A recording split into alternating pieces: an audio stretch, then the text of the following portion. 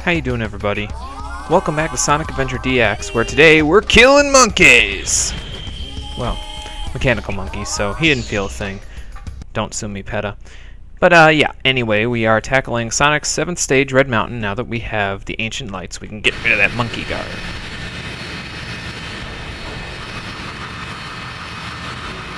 Was this cutscene really necessary to just show off engine noise? I mean, I suppose it gives you a good view of what's to come in the stage, but yeah.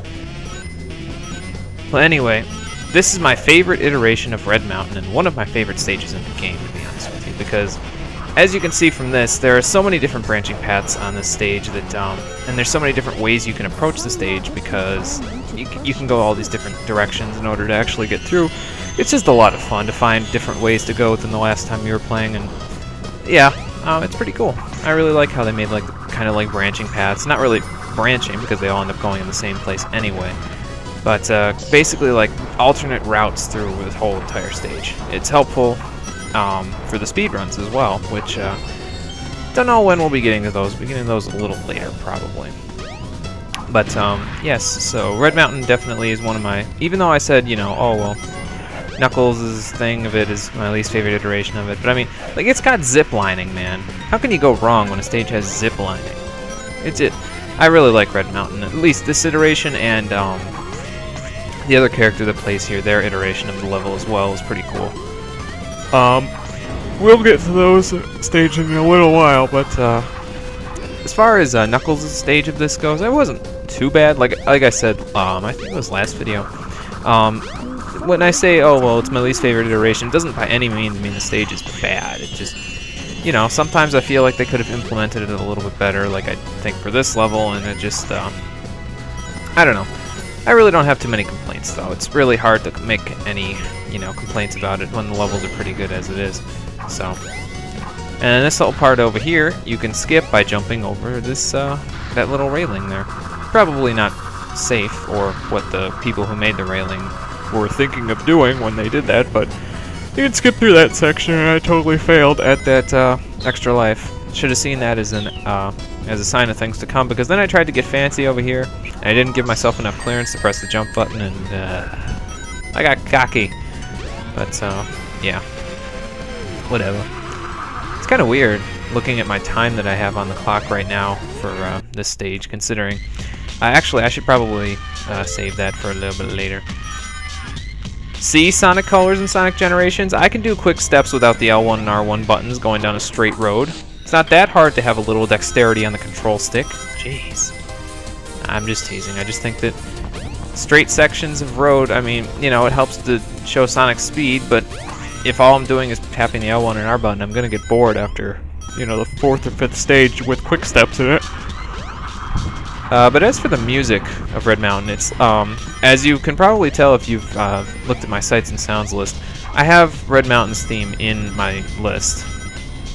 Uh, the first one, at least. I really like both of the themes in there, but I think the first one kind of defines uh, a little bit more adventure, I suppose you could say, than the second one. The second one, I really like the bass guitar in the background of this song. You should probably look it up. I think it's called Red Mountain 2. Uh, it's a pretty good song. I really like it if the bats would ever stop swirling in the background to uh, get rid of the bass guitar. Something else you got to watch out for in this level is that the lava rises up uh, out of the uh, well, it rises up basically as the as you progress with the stage.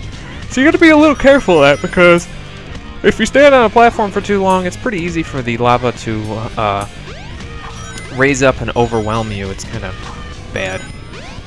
And I see they've imprisoned the Fighting Polygon team here for shenanigans. That's just great. Honestly, it'd be more like the fighting wireframes, because after the cruel after cruel melee mode in Super Smash Bros. Melee, I'm not surprised they imprison those bastards. Well, anyway, are those coffins or they're dancing? Well, I would under I understand why. This music's pretty kick-ass. So even the dead are dancing to the music. So that's pretty cool. Oh man, lots of rings. Uh, yeah, we're gonna need all the rings we can get, and I got cocky again in this part, as you will see in just a second. We're gonna need as many rings as we can get. I don't know why I jumped into that. Don't ask me. I was feeling really in a weird mode at this mood at this point. I think at this point I had actually been playing Big's game before that before I recorded this part of Sonic story when I was doing the recording. So I wasn't used to playing as Sonic at this point, so if my uh, gameplay was a little bit weird there, well, don't worry, it'll get a little better. I just need a little bit of time. Apparently, I need a little bit of time to sleep too, because Jesus Christ.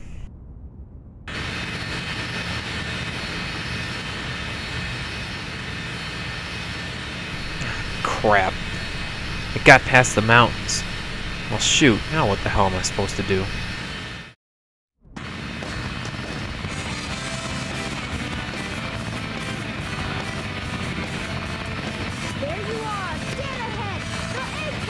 About time you showed up, Tails.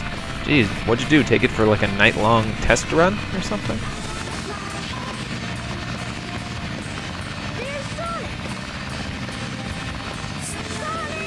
Why didn't you break the capsule? The developers forgot to put in an animation for a capsule broken thing for this, this cutscene. So it's not my fault.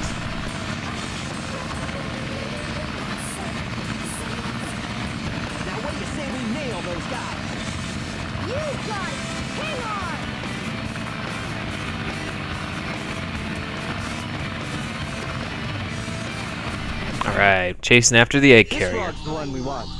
No, Meanwhile, on board the egg carrier, My frog is the right one. As you can see, the reason why Gamma wasn't responding when Knuckles was following him back to the base and when Big was screaming at him back on Emerald Coast, it's because he was in the flashback the whole time and it was auto-walking him back to the base, even though he had no idea that he was doing so.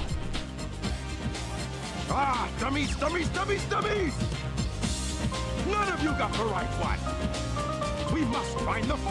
Chaos's tail. Chaos's tail? Well, I guess that would explain why Froggy has a tail and those ones Chaos in the don't. room. Huh?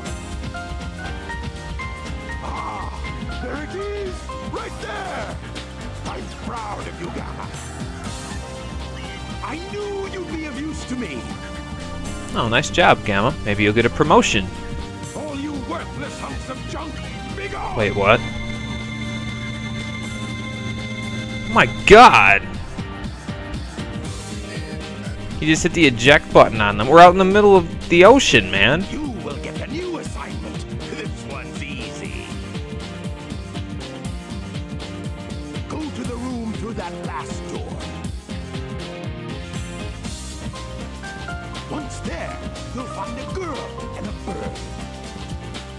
Get me that bird. I guess they are holding Amy hostage right now. Oh boy. This couldn't end well.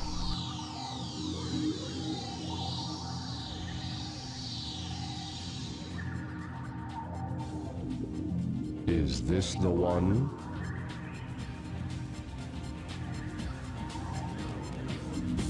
Yeah, that rotating platform in the middle of the three doors there, probably not the best design choice, Eggman, I'm just saying.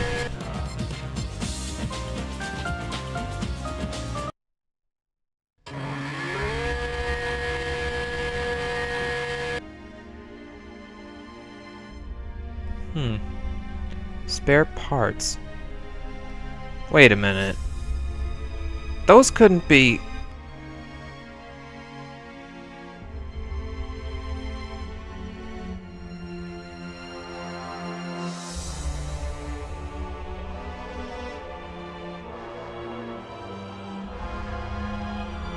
Beta?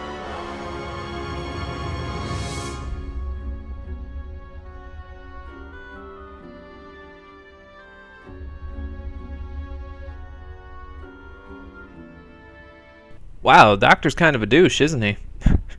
totally just ejected half of his, three quarters of his staff out into the sea, and now he's killed Beta, and, well, not killed, he just tore him apart, and now he's replacing him essentially with a better version. I guess that could be alright, but just the thought of him taking him apart is kind of gruesome to think about, at least for Gamma, because he's a robot, you know, so he can kind of relate a little better than we can to robot massacre, I suppose. But now we're chasing after the egg carrier and Tails' new plane for Sky Chase Act 2. Uh, there isn't really too much to say about Sky Chase Act 2. It's pretty similar to Sky Chase Act 1 in that you're still shooting down all of Eggman's uh, crazy ships, which are piloted by, I guess, the rest of his robot crew that he ejected out into space.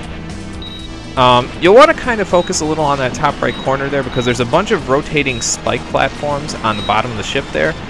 And, uh, well, if you don't get rid of them now, they can be a little bit annoying later when you're actually flying underneath the ship there, so might be a good idea to get rid of them. So anyway, um, I just wanted to say that uh, my original thought that the bonus episode would take a little longer than usual not really all that true anymore because uh, basically last night what I was doing, instead of doing the commentary for this episode, which I'm doing pretty much right before I render it out and upload it today, that's uh, sorry that they've been late for the past couple of days. I've been a little bit uh, busy, but I'm not giving up, not at all. Anyway,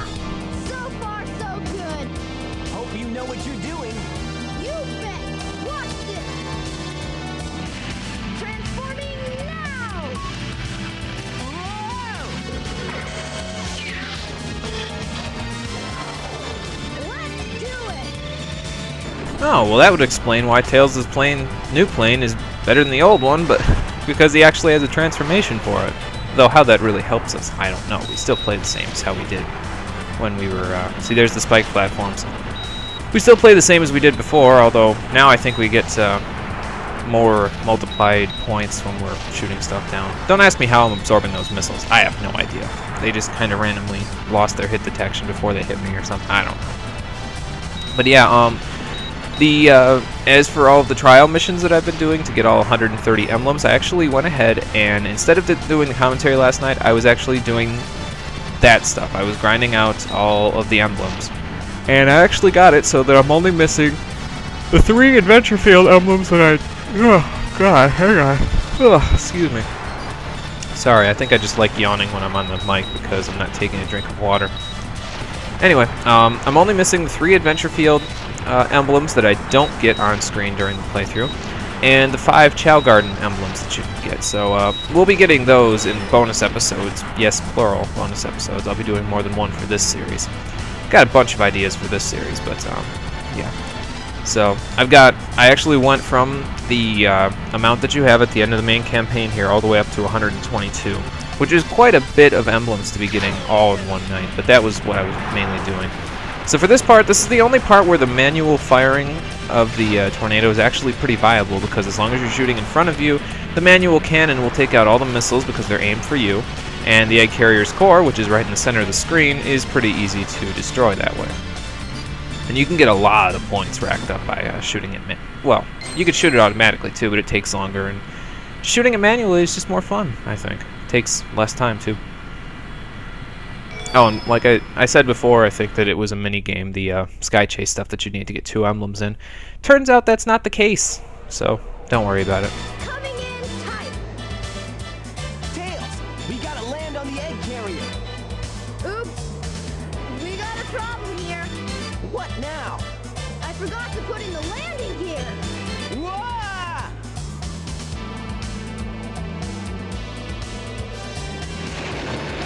Oh, well that wasn't so bad at all. I Don't know what you were worried about, Tails. Wow! This thing is really huge! Oh, God. Just, just no comment. No No comment now. on that. We need to find Amy. You're right, my friend. So here we go! Get used to Sonic giving us the middle finger pose without actually giving us the middle finger. He'll be doing that a lot on the egg carrier here for some weird reason. Well, anyway, maybe this is the engine of the ship. Hmm. what? Oh, what do you mean after the transformation? Ah, screw it. I'm sure it's not that bad. Whoa! Don't get too many ideas, you fools! You haven't seen the power this vessel really has! Get a load of this! Again, no comment. Just keep going, please.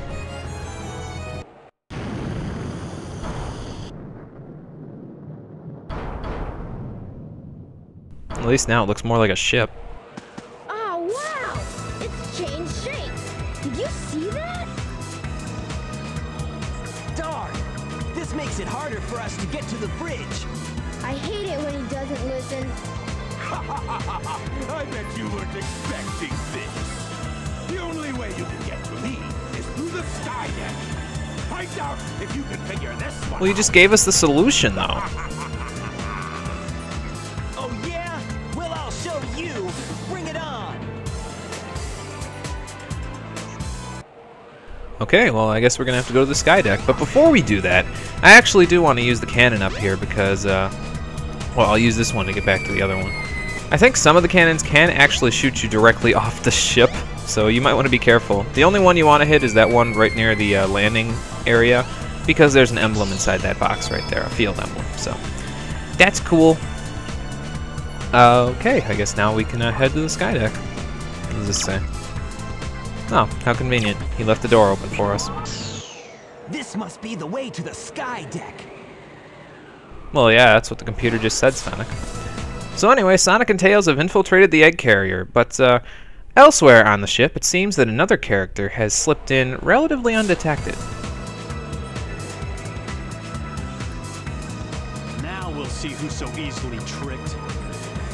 I can sense the emeralds are here somewhere. Yeah, yeah, we just have to find them, Knuckles. What else is new? We've been doing that in your game for 45 minutes now. I thought there was something back here, because I remember going back here for something uh, uh, in the original Sonic Adventure. I don't recall why.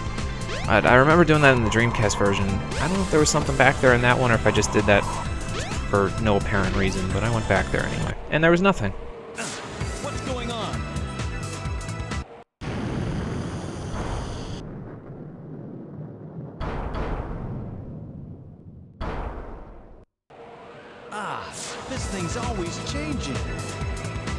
Yeah, there wasn't really a kosher way that I could cut out that second transformation thing. But, uh, eh, it doesn't take that long. So anyway, you can glitch through the floor right there.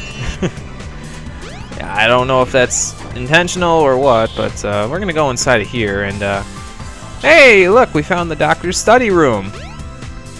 Yeah, it's this is one of those things that like they added in as an afterthought just to kind of make it like, oh well, now this is not only his ship as like a means of like, you know, traveling around. This is his base of operations, man. He's gonna be up there all the time. I mean, he's got he's got everything in here, including a field emblem, apparently.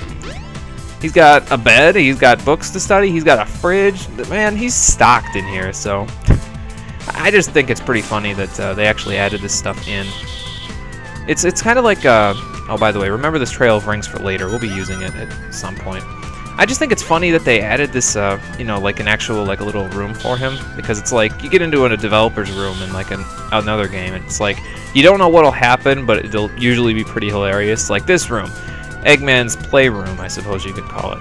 It's got like you know slot machines and crazy planes and everything. And if you get in the free camera, you can actually rotate the camera a little bit. It's kind of difficult when you're sitting in the seat, but there's these little crazy kiddie rides that they have at grocery stores where you pop a quarter in and then they rock back and forth like that. This is just great. I love I love this part of the egg carrier. It's so it's it's a cool little addition. It kind of gives you a little bit of like an insider to the doctor's mind. That he's really a child at heart and he's totally misunderstood. He just wants to be an evil genius after all. Woe is he. Not really. Let's turn the auto camera back on. But yeah, it's a cool little addition, I like it. Kind of gives you more of a... It, basically, it makes him feel a little bit more human, which makes the Doctor a little bit more relatable, even though he's a cold-hearted bastard. But, you know. I don't think we can go in the store. Nope. And then there's this part right here. I thought you could glitch through the floor here, but as it turns out, I was wrong because I couldn't go up any farther there. So after about 5 or 10 minutes of effing about, I managed to uh, get on top of here. It, it's a lot more difficult than it looks, believe me, but uh, I got the third field emblem there. With the free camera's help again. Love that free camera in this version of the game. It's really helpful, believe it or not, at least for the egg carrier anyway. And now for the third and final little room of Eggman's that kind of makes him more uh, relatable. He has a swimming pool. It's it's really and it has a diving board and everything. And something um, another commentator that actually inspired me to do this playthrough came up with is that it's kind of cool that he has this. By the way, there's your fourth and final final field emblem for this area. All four of them in one video. So there you go. Some, uh, he came up with the fact that the fact that Eggman can swim and Sonic can't. That makes them even more mortal enemies. So that's cool. I sense the Master Emerald. It can't be far from here. so yeah, I mean, it would make sense that he has a swimming pool because if he can swim and Sonic can't, it would be even more, make it even more sense that they're mortal enemies. But apparently, everything that our heroes are looking for is inside of the Skydeck. But will they be able to make it through there intact? And what will happen when Ga- Gamma interrogates Amy? Will Beta be on his mind forever? Find out in the next episode of Sonic Adventure DX. Thanks for watching, everybody, and I'll see you next time. Take care.